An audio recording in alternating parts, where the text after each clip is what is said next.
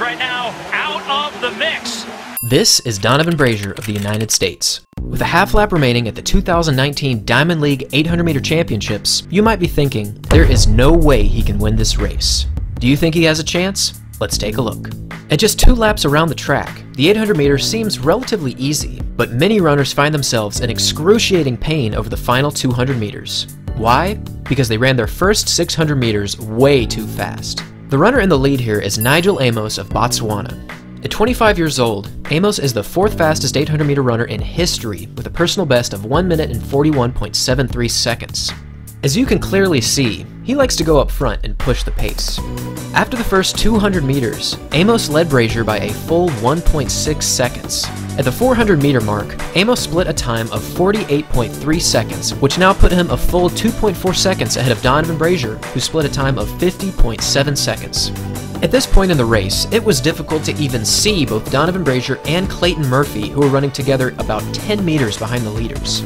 With 200 meters to run, Brazier started catching other runners, but catching Amos up front seemed impossible. Coming down the home stretch, Amos slowed down a significant amount, and while he was slowing down, Brazier was absolutely crushing the closing 100 meters.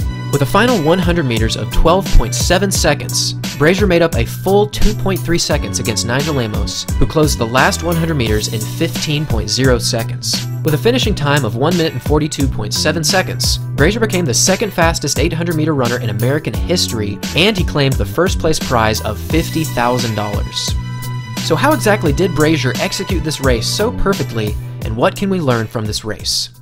This victory can be boiled down to one word, patience. If we look at the splits of both Donavan Brazier against Nijel Amos, the differences are drastic. The main difference, however, is their 400 meter splits. Amos, on one hand, had a full 6.3 second difference from his first lap to his second, whereas Brazier only had a 1.2 second difference from his first lap and his second. Historically speaking, the first lap of an 800 meters is almost always faster than the second. However, Amos's almost suicidal pace of 48.3 seconds through the first 400 meters is objectively too fast to maintain. The only American to ever run faster than Donavan Brazier is now Johnny Gray, who ran a 1 minute and 42.6 second 800 meters back in August of 1985. Now the question remains, how will Donavan Brazier compete in this year's World Championships? Leave a comment down below and share your thoughts. Thanks for watching everyone. Don't forget to like and subscribe for more running content, and we'll see you all in the next video.